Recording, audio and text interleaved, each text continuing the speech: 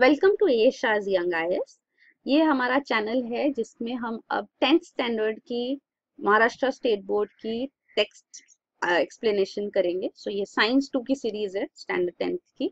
और ये ये सीरीज़ में हम स्टार्ट कर रहे हैं फ़र्स्ट चैप्टर से। So chapter number one is hereditary and evolution और हमारी स्ट्रैटेजी ये रहेगी कि हम हमारे टेक्स्ट में important points important sentences underline करें। एंड मैं सजेस्ट करूँगी आप दो पेन रखे, एक रेड पेन और एक ब्लू पेन और जहाँ जहाँ ये हाईलाइट्स है, वहाँ पे आप अंडरलाइन कर सकते हैं। जहाँ रेड से, वहाँ आप रेड पेन से अंडरलाइन करें, जहाँ ब्लू है, वहाँ ब्लू पेन से अंडरलाइन करें। तो हम स्टार्ट करते हैं हेरिडिटी एंड एवोल्यूशन तो यहाँ पे सबसे पहले कैन यू रिकॉल में सवाल है। हेरिडिटी क्या होता है वो भी आगे एक्सप्लेन किया जा रहा है। तो पहला सवाल है which component of the cellular nucleus of living organisms carries hereditary character? इसका मतलब क्या है कि हमारे ह्यूमन बॉडी है या कोई भी लिविंग ऑर्गेनिज्म की बॉडी वो सेल्स से बनी होती है। तो सेल्स के अंदर न्यूक्लियस होता है सारे लिविंग ऑर्गेनिजम्स के। तो ये न्यूक्लियस में हेरिडिटरी कैरेक्टर्स होते हैं। हेरिडिटरी कैरेक्टर्स मतलब हमको हमारे पेरेंट्स से हमारे पेरेंट्स को उनके पेरेंट्स से तो हमारे माँ बाप से हमको कैरेक्टरिस्टिक्स मिलती है। तो वो हेरिडिटरी हम कैरी uh, करते हैं। तो ये कौन सा कंपोनेंट है सेलुलर न्यूक्लियस में जो ये हेरिडिटरी कैरेक्टर्स हमको देता है? तो ये पहला सवाल है। तो इसका जवाब क्या आएगा? इसका जवाब आएगा क्रोमोजोम्स तो ये कैसा पूरा सेट है वो हम यहाँ पे एक डायग्राम से देखेंगे। तो हमारे बॉडी में सेल्स है, हर सेल में न्यूक्लियस होता है और न्यूक्लियस के अंदर क्रोमोजोम्स होते हैं। ये ये क्रोमोजोम का शेप होता है। क्रोमोजोम जो होते हैं, वो एक्चुअली डीएनए से बने होते हैं। तो वो पूरा डीएनए लपटा हुआ होता है जैसे तो उससे ये क्रोमोजोम्स ऐसे होते हैं और ये डीएनए जो है, ये डबल हेलिकल स्ट्रक्चर ये डीएनए के ऊपर मतलब एक एक सेक्शन डीएनए का उसको जीन बोला जाता है, जिसके ऊपर इंफॉर्मेशन होती है। तो ये जो है, यहाँ पे और एक डायग्राम में देखिए तो ये क्रोमोजोम जो है, ये पूरा लपटा हुआ डीएनए तो इसको हम और डिटेल में भी देखेंगे। डीएनए का फुल फॉर्म आपको पता होना चाहिए। डीऑक्सी राइबोन्यूक्लिक एसिड तो ये डीएनए होता है। तो ये जो आ, हमारा जो ये जीन्स है तो ये genes hereditary character actually carry करती है और जीन्स डीएनए से बना है जो डीएनए क्रोमोसोम्स एक्चुअली क्रोमोसोम्स जो है जो डीएनए से लपटे हुए हैं। तो डीएनए जो है ये ऐसे आप ये स्ट्रिप की तरह होता है तो ये स्ट्रिप को आप एक जो पुराने टाइम के टेप रिकॉर्डर होते हैं टेप रिकॉर्डर की स्ट्रिप की तरह समझ सकते हैं। तो जो टेप रिकॉर्डर की जो स्ट्रिप्स होती है आपको एक टेप रिकॉर्डर कैसेट भी तो ये जो पुराने जमाने की कैसेट्स होती थी कैसेट्स पे ए साइड बी साइड होता था और इसके ऊपर गाने है। तो समझो सॉन्ग्स अगर है तो जैसे कि एक साइड पे अगर पाँच गाने हैं तो वो पूरी कैसेट जो है, ये एक मैग्नेटिक रिबन होती है रिबन लपटी हुई होती है अंदर। तो ये जो रिबन आप अगर इसको निकालोगे तो आपको इसके ऊपर गाना दिखेगा नहीं, पर ये गाना रिकॉर्ड किया हुआ इस पे होता है। जब आप इसको टेप में बजाओगे तो गाना बजता है। तो ये जो टेप है, ये टेप को आप डीएनए की तरह समझ सकते हो। और एक एक जीन मतलब एक एक डीएनए के ऊपर एक एक इन्फॉर्मेशन तो ये जो तो पूरी मैग्नेटिक स्ट्रिप है, ये एक समझो डीएनए है और ये उसके ऊपर जहाँ पे आप एक गाना शुरू हो रहा है गाना खत्म हो रहा है, अगर आप देखोगे तो आपको दिखने में नहीं दिखेगा, पर इंफॉर्मेशन इसके अंदर है। तो वैसे ही जीन्स इंफॉर्मेशन कैरी करते जैसे यहाँ पे भी अगर हम ये स्ट्रिप को काट दे, पूरा इतना लंबा हिस्सा काट दे या थोड़ा हिस्सा काट दे तो और फिर उसको कैसे भी आप टेप से किसी से ज्वाइन करके कनेक्ट करके फिर से आप उसको टेप में बजाओगे तो जितना हिस्सा आपने काट दिया, वो सुनाई नहीं देगा उतना हिस्सा। तो वैसे ही जीन्स में भी इंफॉर्मेशन है तो हमको, वो दिखता नहीं है कि इंफॉर्मेशन कहाँ से कहाँ तक है बट जब उसको प्रोसेस किया जाता है तो पता चलता है। तो जीन्स कैरी किए जाते हैं ऑन द डीएनए तो ये जीन का मतलब है। हमारे चैप्टर में भी आगे डिटेल आएगा। फिर सेकंड सवाल है what do we call to the process of transfer of physical and mental characters from parents to the progeny progeny मतलब बच्चे, उनके जो बच्चे हो गए। तो इस प्रोसेस को क्या कहते हैं? इस प्रोसेस को ही हेरिडिटी कहते हैं। जो ट्रांसफ़र यहाँ पे लिखा भी है, देखो transfer of biological characters from one generation to another via genes तो हमारे जीन्स जो है, हमको हमारे पेरेंट्स से मिलते हैं।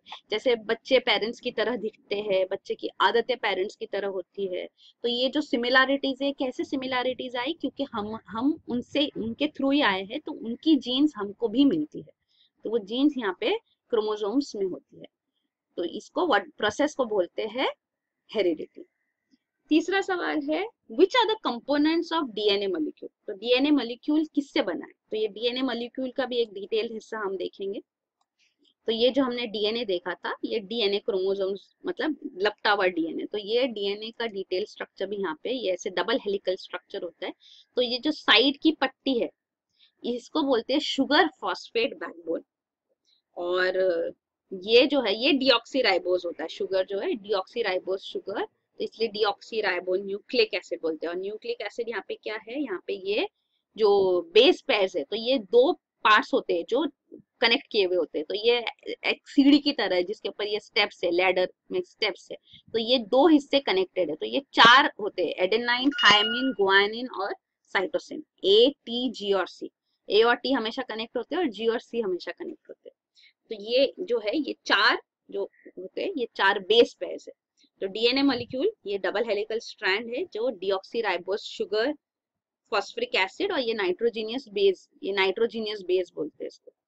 तो ये नाइट्रोजीनियस बेस जो है, ये है ए टी जी और सी तो इससे बना हुआ होता है। तो इसको ये डीएनए मॉलिक्यूल का स्ट्रक्चर है। अब आगे बढ़ते हैं।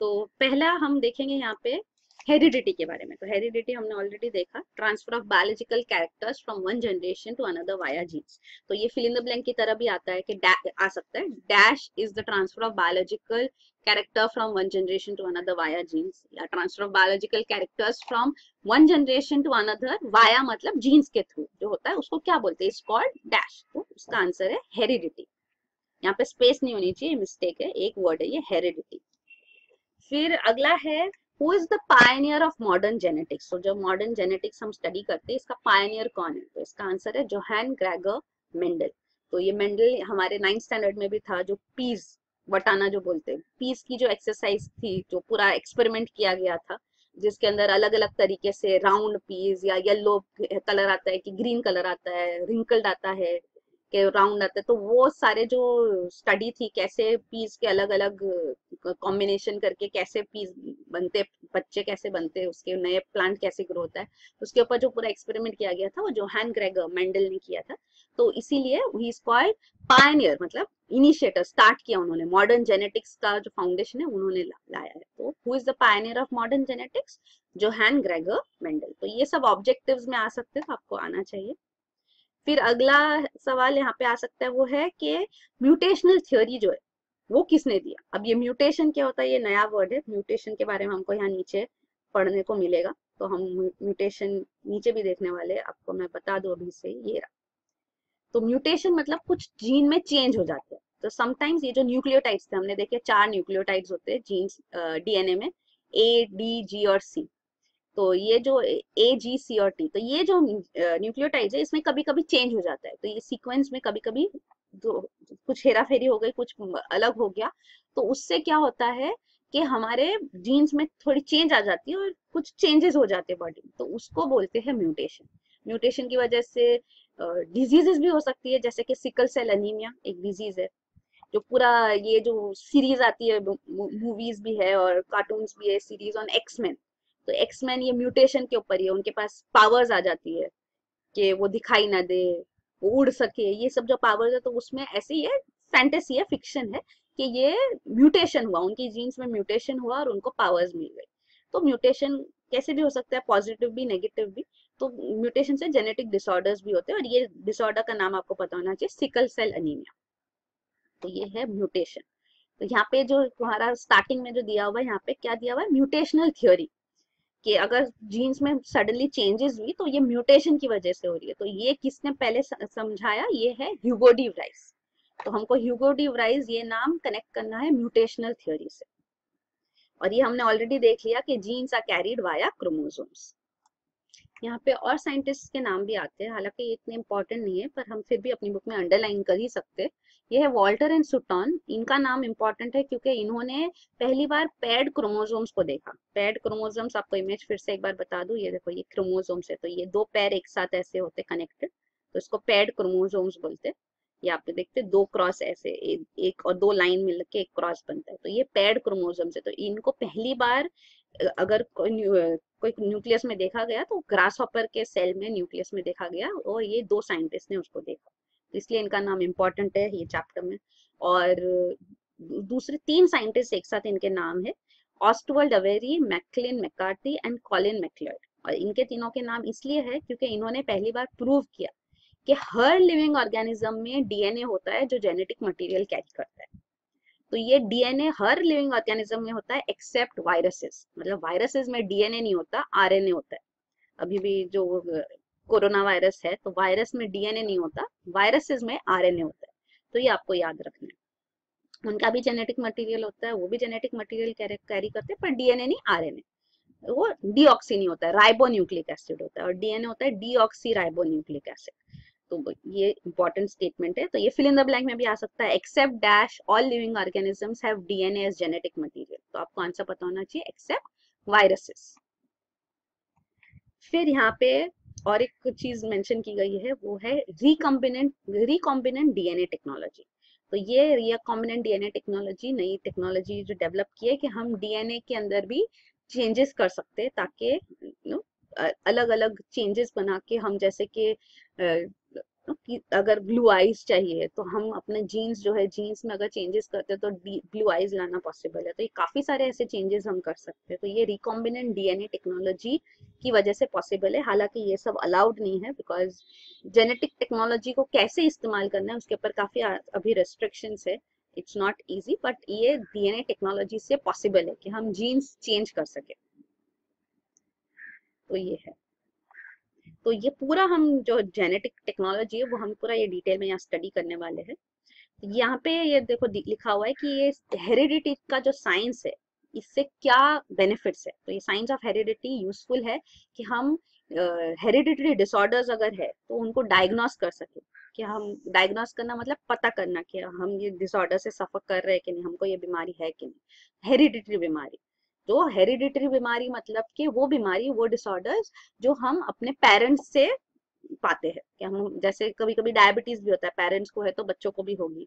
तो ये हेरिडिटरी डिजीजेस होते हैं। तो उसका डायग्नोसिस उसका ट्रीटमेंट उसको प्रिवेंट करना कि वो ना हो हमको बीमारी। ये सब पॉसिबल है डीएनए हेरिडिटरी टेक्नोलॉजी के थ्रू इवन प्लांट्स और एनिमल्स में हाइब्रिड्स बन सकते हैं हाइब्रिड वेराइटीज बनते हैं। हाइब्रिड मतलब एक स्पीशीज और दूसरी स्पीशीज को मिक्स करके। अलग प्लांट ग्रो करना तो हाइब्रिड प्लांट्स बनते हैं। और इंडस्ट्री में भी ये यूज़ किया जाता है माइक्रोब्स यूज़ किए जाते हैं, वो भी डीएनए टेक्नोलॉजी होता है तो ये है। अब हमारा इम्पोर्टेंट चैप्टर यहाँ शुरू होता है। फ़र्स्ट जो टॉपिक है वो है ट्रांसक्रिप्शन ट्रांसलेशन एंड ट्रांसलोकेशन ये बहुत ही इंपॉर्टेंट टॉपिक है। इसका पूरा एक एंड में सवाल है, पूरा। लेकिन आजकल इतने बड़े बड़े सवाल पूछते नहीं है, पर उसके कॉन्स्टिट्यूंट पार्ट्स आपको पता होना चाहिए। हम सवाल भी पीछे देखेंगे अभी। तो हम चैप्टर करने के साथ साथ सवाल भी साथ साथ देखते जाएँगे कि हमारा पीछे के एक्सरसाइज भी साथ में सॉल्व हो और चैप्टर भी कंप्लीट हो।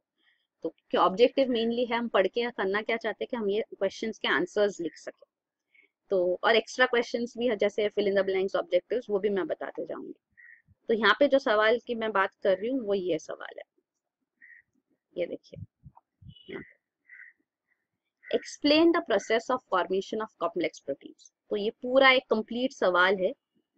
बड़ा सवाल है, इसका आंसर पूरा आएगा। तो ये सवाल जो है, ये हालाँकि इसका आने के चांसेस कम है, पर हम फिर भी देखेंगे कि इसका पूरा आंसर जो है, पूरा एक लंबा आंसर है। पर हमको वो पूरा आंसर नहीं करके उसके कॉन्स्टिट्यूंट पार्ट्स याद रखने, क्योंकि ऑलरेडी दो एग्ज़ाम्स हो चुके हैं 2018 और 2019 और 2020 2018 में नया सिलेबस आया है तो 2019 और 2020 के बोर्ड एग्ज़ाम्स हो चुके हैं, जिसके अंदर पेपर्स में ऑलरेडी सवाल आ चुके हैं ऑब्जेक्टिव टाइप क्वेश्चंस तो जो ये स्टार्टिंग का पार्ट है, यहाँ से सवाल आया है दो मार्क्स के लिए 2019 में तो जो है टू मार्क्स का सवाल है तो थ्री मार्क्स का सवाल है एक्चुअली तो तीन सवाल है, तीन वन वन मार्क के सवाल मिलके एक सवाल बनता है। सवाल ये थे what do you mean by central dogma तो सेंट्रल डॉगमा का ये एक स्टेटमेंट हमको लिखना है। और दूसरा सवाल उसके अंदर है व्हाट इज़ ट्रांसक्रिप्शन उसका आंसर ये रहा। और तीसरा सवाल था what is triplet codon what is meant by triplet codon तो ये 2019 का सवाल है। तो इसलिए यहाँ से इंपॉर्टेंट पॉइंट्स शुरू हो जाती है चैप्टर की। तो अब पहली चीज़ हमको समझना है जो है, वो यहाँ पे फ़र्स्ट स्टेटमेंट है। Information about protein synthesis is stored in the DNA तो इसका मतलब क्या है? हमने डीएनए ऑलरेडी इमेज देखी है। तो इन्फॉर्मेशन जो है प्रोटीन सिंथेसिस की तो प्रोटीन सिंथेसिस होता है मतलब प्रोटीन बनता है। सिंथेसिस मतलब बनाना मैन्युफैक्चर करना, बनाना। तो ये प्रोटीन जो बन रहा है हमारी बॉडी में प्रोटीन्स बनते हैं। तो प्रोटीन्स का इंफॉर्मेशन के प्रोटीन कैसे बनाना है बॉडी को कैसे पता चलता है? इसका इन्फॉर्मेशन डीएनए में होता है।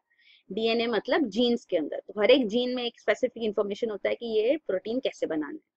तो सारे प्रोटीन्स एक एक करके जो है डीएनए से पढ़े जाते हैं रीड किए जाते हैं इन्फॉर्मेशन डीएनए के ऊपर जो इन्फॉर्मेशन है, जैसे हमने टेप देखा टेप रिकॉर्डर के ऊपर गाना होता है, वैसे डीएनए के ऊपर इन्फॉर्मेशन है तो ये ये इन्फॉर्मेशन आप एक रेसिपी कुकबुक की तरह समझ सकते हैं कि कुकिंग की एक रेसिपी की बुक है। तो हर एक चीज़ के लिए वहाँ पे मेंशन किया होता है तो वो हम पढ़ के उसमें से वो वाला प्रोटीन बना सकते हैं। तो हर एक की रेसिपी पढ़ी जाती है, जैसे कि हमारी बॉडी में, और वो प्रोटीन बनाया जाता है, और सारे प्रोटीन्स मिल के एक कॉम्प्लेक्स प्रोटीन बनता है। तो वो पूरा प्रोसेस जो है, वो हमारा पीछे का टेक्स्ट बुक का एक्सरसाइज का सवाल था कि कॉम्प्लेक्स प्रोटीन्स कैसे बनते हैं। तो एक एक प्रोटीन मिलके बनता है। तो ये प्रोटीन कैसे सिंथेसाइज होते हैं, कैसे बनते हैं इन्फॉर्मेशन डीएनए पे। इंफॉर्मेशन डीएनए के थ्रू आरएनए बनता है। हमारी बॉडी में भी डीएनए डीएनए डबल हेलिकल होता है। आरएनए जो होता है, आप यहाँ पे दिखेगा, ये डीएनए जो है, ये देखो, इसको कट किया गया है। तो ये आधा जो होता है ना, ये आरएनए होता है। आधा हिस्सा। तो ये रिबन का आधा हिस्सा। तो जो दो न्यूक्लियोटाइड्स कनेक्ट होते हैं ना तो उसमें से एक न्यूक्लियोटाइड इस होता है तो ये आरएनए होता है। तो हमारी बॉडी में भी डीएनए से आरएनए बनता है। तो उसको क्या बोलते हैं देखो यहाँ पे लिखा है कि proteins are synthesised by DNA मतलब डीएनए बनाता है थ्रू द आरएनए तो ये जो स्टेटमेंट है इसको सेंट्रल डॉगमा बोलते हैं। डॉगमा का मतलब होता है कि एक जो स्टैंडर्ड हमने इन्फॉर्मेशन जो एक्सेप्ट कर लिए जिसको हम क्वेश्चन नहीं कर रहे। तो ये एक सेंट्रल डॉगमा है कि प्रोटीन्स बनते हैं डीएनए डीएनए से डीएनए बनाता है proteins through the RNA RNA के through so what is central dogma? That in, uh, information about protein synthesis is stored in dna and these proteins are dna through the rna this is called central dogma. तो ये हमारा answer होगा। और यहाँ पे है mRNA के बारे में। तो अभी आरएनए की भी अलग अलग टाइप्स होते हैं। हम यहाँ पे ये पैसेज में करेंगे। तीन टाइप्स के एमआरएनए एमआरएनए टीआरएनए और आरआरएनए एमआरएनए का full form actually messenger RNA होता है, जो यहाँ मेंशन नहीं किया गया टेक्स्ट में, पर मैसेंजर आरएनए होता है ट्रांसफ़र आरएनए होता है और राइबोसोमल आरएनए होता है। तो हम ये सब देखेंगे। तो एमआरएनए जो है एमआरएनए बनता है बेस्ड और is produced as per the sequence of nucleotides on DNA इसका भी क्या मतलब है? ये डीएनए था हमारा।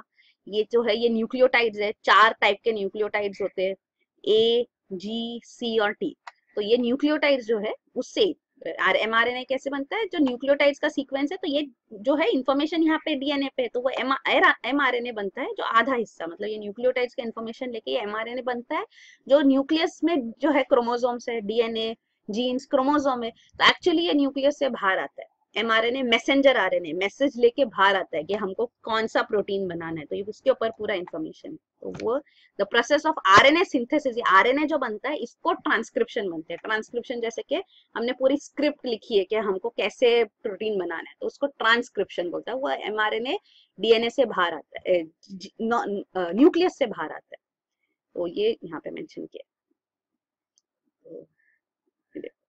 तो process of RNA synthesis is called transcription, mRNA. So, mRNA is produced as per sequence of nucleotides on DNA. This process of RNA synthesis is called transcription. तो ये दो स्टेटमेंट से हमारा ये ट्रांसक्रिप्शन का आंसर आएगा फिर ये एमआरएनए जो है, देखिए, हमने जैसे कहा कि ये न्यूक्लियस से बाहर आता है साइटोप्लाज्म में और ये अपने साथ कोडेड मैसेज लेकर आता है, जो डीएनए का मैसेज है जैसे डीएनए पे तो वो पूरा एमआरएनए बाहर इंफॉर्मेशन लेके आया है और इसके ऊपर जो कोड है वो क्या, यही है ए यू तो यहाँ पे मेंशन किया हुआ है तो ये जो इन्फॉर्मेशन है तो ये कोड जो है, ये तीन को मिला के एक कोड बनता है। तो और ये कोड किसका होता है? एमिनो एसिड्स का, क्योंकि प्रोटीन जो है, प्रोटीन का जो सिंपल फॉर्म है, वो एमिनो एसिड है। एमिनो एसिड जुड़ जुड़ के एक्चुअली एक प्रोटीन बनता है।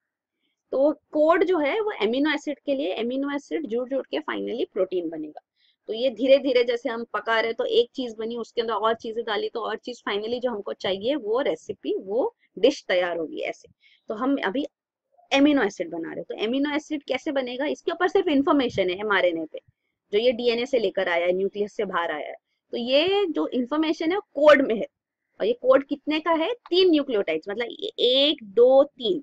तीन न्यूक्लियोटाइड्स पे एक कोड तो कोड एक कोड है मतलब के जो इन्फॉर्मेशन है, उससे कोड जो है मतलब जो भी सीक्वेंस है, हर सीक्वेंस का मतलब होता है एक एमिनो एसिड अलग अलग तरह के एमिनो एसिड होते हैं, आप देख सकते हैं। ट्वेंटी एमिनो एसिड्स है। तो हर एक एमिनो एसिड के लिए अलग कोड है। तो डिपेंडिंग ऑन कौन सा कोड कौन से सीक्वेंस में ये आ रहा है, उसके हिसाब से जो है वो एमिनो एसिड यहाँ पे सप्लाई किया जाना चाहिए। तो हमारे को रेसिपी बनाने के लिए जो इंग्रेडिएंट्स जो चीज़ें चाहिए, वो हमको सप्लाई होनी चाहिए ना। तो वो जैसे जैसे कोड पढ़ा जाता है अच्छा ये चाहिए तो ये वाला एमिनो एसिड लाओ। आगे ये एमिनो एसिड है, ये एमिनो एसिड ऐसे करके सारे एमिनो एसिड्स मिलते हैं। तो ये ट्रिपलेट कोडॉन का क्या है कि ये जो कोड होता है, इसको तीन तीन न्यूक्लियोटाइड्स पे कोड है तो इसलिए इसको ट्रिपलेट कोडॉन बोलते हैं। The code for each amino acid consist of three nucleotides ये न्यूक्लियोटाइड्स है। न्यूक्लियोटाइड्स के नाम भी यहाँ पे आपके टेक्स्ट में एक्चुअली है। जैसे कि डीएनए में क्या होता है और आरएनए में क्या होता है। तो A D G C A G C T जो है, ये डीएनए में होता है। और आरएनए में एक्चुअली थायमिन की जगह पे यूरासिल आ जाता है। तो ए जी सी यू होता है। टी नहीं होता है। तो ये एक फ़र्क जो है यहाँ पे ऑलरेडी मेंशन किया गया आपकी। टेक्स्ट में बाकी सब नाम तो नहीं है, लेकिन ये मेंशन किया गया कि आरएनए में यूरासिल होता है थाइमिन की जगह पे। ए जी सी यू होता है rather than A G C T तो ठीक है तो ये जो भी है, जो भी कोड है, तीन का कोड जो है तो ये कोड एमिनो एसिड का कोड है, इसको ट्रिपलेट कोडॉन बोलते हैं। तो ये स्टेटमेंट है, ये आपका थर्ड आंसर होता है। आपके जो तीन मार्क का 2019 में ऑलरेडी सवाल आ चुका है। और एक सवाल है, जो एक्चुअली टेक्स्ट बुक के पीछे का भी सवाल है, यही हिस्से से हम ये 2020 के पेपर में भी आ चुका है मार्च 2020 के पेपर में। Transfer of information from molecule of DNA to mRNA is called dash process तो डीएनए से इंफॉर्मेशन जाया एम आर एन ए पे। तो ये जो एम आर एन ए हमारा बना मैसेंजर आर एन ए हम ऑलरेडी ये कर चुके हैं तो इसको क्या बोलते हैं? ट्रांसक्रिप्शन प्रोसेस राइट तो अगर आपको ये सवाल का जवाब मिला मतलब आपको अब तक सब कुछ समझ में आ रहा है तो आप सही ट्रैक पे हो। नहीं समझ में आ रहा है तो फिर से ट्राई करो धीरे धीरे समझने का, क्योंकि साइंस डिफ़िकल्ट है और साइंस समझना बहुत इंपॉर्टेंट है। जब तक आप समझोगे नहीं, आप आंसर्स याद नहीं कर पाओगे। तो ये क्योंकि बहुत ज़्यादा सिलेबस भी है तो हर एक चीज़ को सही से समझना है। तो ये रहा हमारा आंसर ये देखो ट्रांसक्रिप्शन है ना? आरएनए जो बन रहा है, उसको ट्रांसक्रिप्शन बोलते हैं। तो ये 2020 का फ़र्स्ट चैप्टर पेपर में फ़र्स्ट क्वेश्चन था। First objective question. ठीक है?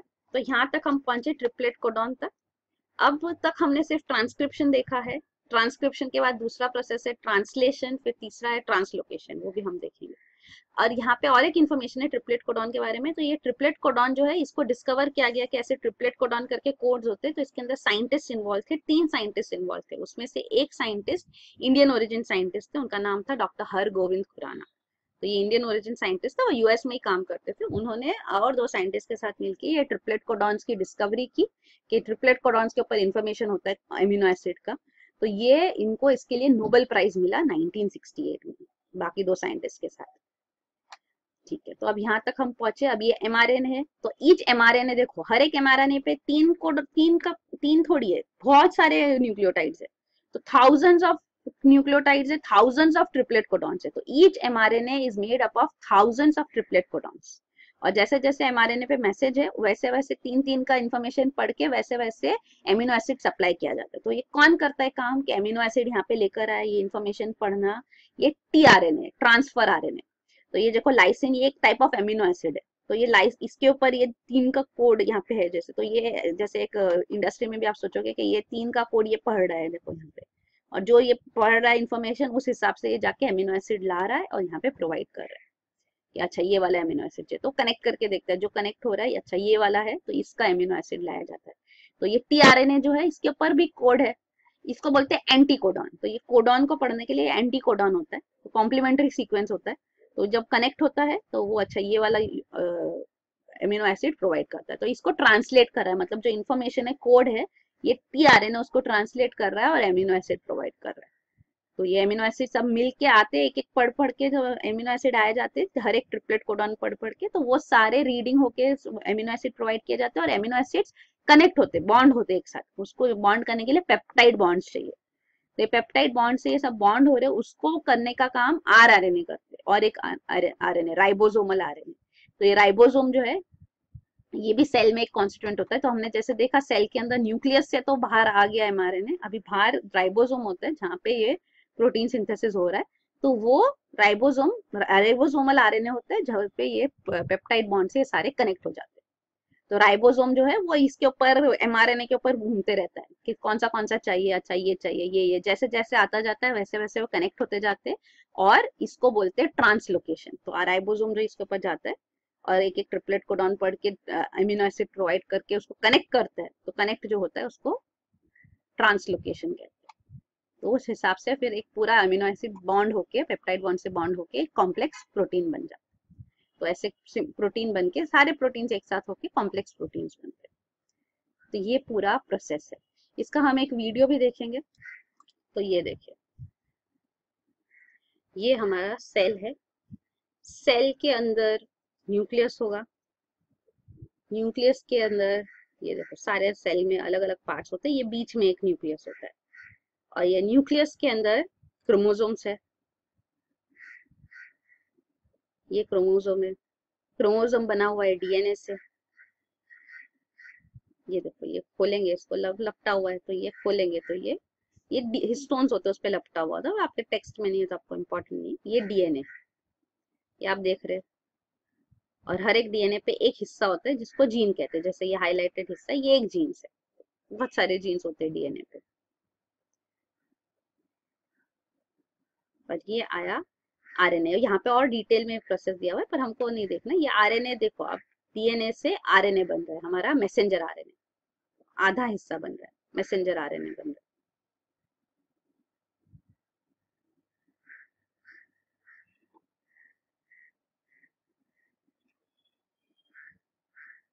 अब ये मैसेंजर आरएनए जो है, ये न्यूक्लियस से बाहर जाएगा सेल के अंदर।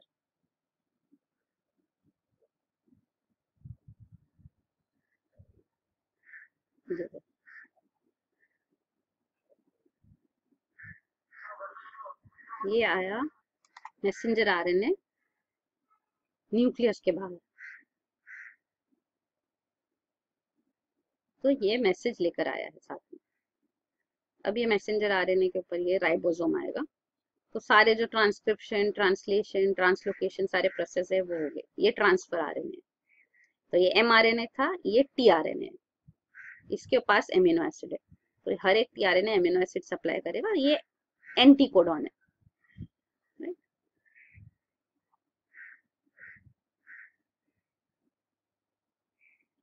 अब ये एक एक पढ़ेगा जो जो है वो वाला एमिनो एसिड प्रोवाइड करेगा। सारे एमिनो एसिड्स कनेक्ट हो गए पेप्टाइड बॉन्ड से। राइबोसोम वो काम करेगा। आरआरएनए होता है। राइबोसोमल आरआरएनए तो ये आर आरएनए सारे पेप्टाइड बॉन्ड्स को कनेक्ट करते जा रहा है राइबोसोम तो ये ट्रांसलोकेशन प्रोसेस हो रहा है और ये पूरे एमिनो एसिड सब कनेक्ट होके प्रोटीन बन रहा है। और सारे प्रोटीन मिलके कॉम्प्लेक्स प्रोटीन बनता है। तो ये बन गया प्रोटीन तो ये पूरा प्रोटीन सिंथेसिस का प्रोसेस है तीन स्टेजेस में। ट्रांसक्रिप्शन ट्रांसलेशन एंड ट्रांसलोकेशन तो ये आपका ये हिस्सा यहाँ पे कंप्लीट हुआ।